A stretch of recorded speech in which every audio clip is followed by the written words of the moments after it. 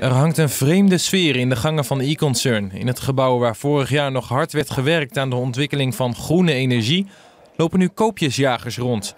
Onder hen Klaas van Hoven, die wel vaker op dit soort veilingen afkomt. Als ik dingen erbij heb dan die, die ik hebben kan, een lamp of zo. Maar lampen worden vandaag niet verkocht. Wel kantoormeubilair en vooral heel veel computers. Kijk wel wat ik hebben wil. Ik pik, pik wel de krenten eruit, zeg maar.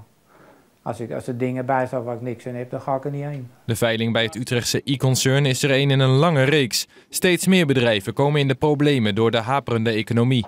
Voor veilingenorganisator Peter Wolteman betekent dat werk aan de winkel. Ja, we hebben het uh, op dit moment erg druk. Uh, ik denk dat wij dit jaar zo'n 300 veilingen gaan doen. En een, uh, ja, meer dan de helft daarvan heeft, is gerelateerd aan faillissementen. De faillissementsveilingen bieden aan andere bedrijven weer kansen om goedkoop aan kantoorspullen te komen. Ook Karin en Eve de Verante zijn voor hun bedrijven op zoek naar materiaal. Maar het is geen prettig gevoel om de kasten door te vroeten. Nou, een. Vind ik wel, ja. Een beetje zo'n rauw. Vooral als je Beleving. zelf ook onderneemt.